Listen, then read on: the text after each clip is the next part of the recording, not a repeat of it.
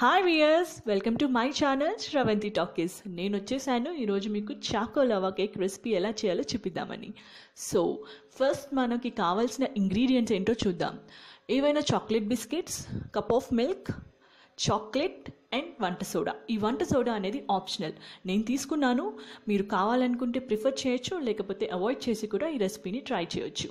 So first మనం ఏం చేయాలంటే ఈ బిస్కెట్స్ని మనం మిక్సీలో మెత్తగా పౌడర్ లాగా గ్రైండ్ చేసుకోవాలి. చూపిస్తున్నాను కదా చాలా మెత్తగా గ్రైండ్ చేసుకోండి పౌడర్ లాగా.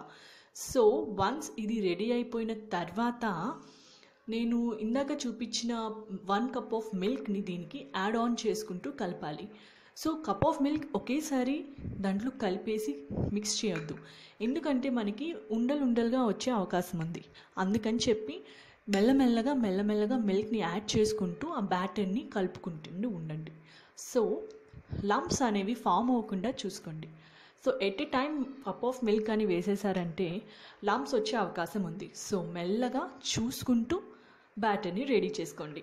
సో ఈ బ్యాటర్ అయిపోయే లోపు ఇందాక చూపించిన చాక్లెట్ని నేను ఓవెన్లో ఒక వన్ మినిట్ పాటు పెట్టేశాను. చాలామంది స్టవ్ మీద వాటర్ పెట్టి దాని మీద బౌల్ పెట్టి కరిగించడం చూశాను.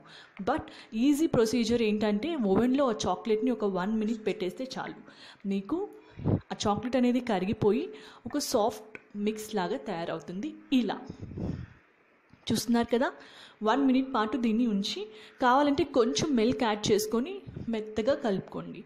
లేకపోయినా పర్వాలేదు ప్యూర్ చాక్లెట్లో వదిలేయచ్చు. So now our two batters are ready అనమాట ఒకటైతే బిస్కెట్స్తో చేసింది ఇంకొకటి చాక్లెట్ మిక్స్ సో దీంట్లో నేను చెప్పినట్లుగా వంట సోడా చిటికెడు వేసుకున్నాను.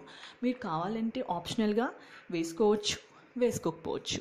సో దీన్ని మన ఇంట్లో ఇడ్లీ పాత్రలు ఉంటాయి కదా దాంట్లో చేసుకుందాం. దీని మీద బటర్ కానీ ఆయిల్ కానీ అప్లై చేసుకోండి. తర్వాత నేను ఇందాక తీసుకున్న బిస్కెట్ మిక్స్ ఉంది కదా దాన్ని ఫస్ట్ దాని మీద ప్లేస్ చేసుకోండి. ఇలా. అండ్ దెన్ మన చాక్లెట్ మిక్స్ని దాని మీద కొంచెం ప్లేస్ చేసుకోండి. ఇలా. సో దీని మీద మళ్ళీ మనం బిస్కెట్ మిక్స్ వేసుకోవాలి.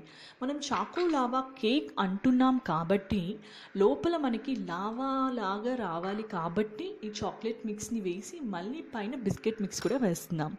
సో ఇలా నేను చూపించిన విధంగా మీరు ఎన్ని కేక్స్ కావాలంటే అన్ని కేక్స్కి సరిపడా క్వాంటిటీ తీసుకొని ఇలా ఇడ్లీ పాత్రల్లో వాటిని రెడీ చేసి పెట్టుకోవాలన్నమాట.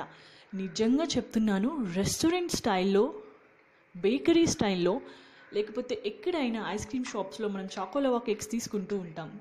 ఎంతెంత రేట్లు పెట్టి కొంటూ ఉంటాం. కానీ ఇలా మీ పిల్లలు అడిగినప్పుడు చిటికెలో ఇంట్లో చేసి ఇచ్చేసారనుకోండి అసలు వాళ్ళు నమ్మండి బయటవి మిమ్మల్ని అడగనే అడగరు. సో సింపుల్గా ఇంట్లో ఇలా చేసుకుని ట్రై చేసి చూడండి చాలా అంటే చాలా బాగొస్తుంది.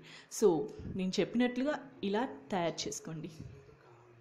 అండ్ ఈ మిశ్రమాన్ని ఫోర్ ప్లేట్స్లో మనం పెట్టేసుకున్నాం కదా దెన్ ఇడ్లీ పాత్రలో ఒక ఫైవ్ మినిట్స్ పాటు పెట్టాక నాకు ఇలా ఈ కేక్ రెడీ అయింది. సో చూస్తున్నారు కదా నా చాకోలావా కేక్ హోమ్ మేడ్ ఎంత బాగా వచ్చిందంటే లోపల లావా కూడా చాలా బాగా తెలుస్తుందండి. సో ఫ్రెండ్స్ ట్రై చేసి చూడండి. అండ్ నాకు వీడియో కింద ఎలా ఉందో కామెంట్ చేసి పెట్టండి. అండ్ అలాగే మీకు ఈ వీడియో కనుక నచ్చినట్లయితే లైక్ చేయండి షేర్ చేయండి. నా ఛానల్కి సబ్స్క్రైబ్ చేసుకోండి.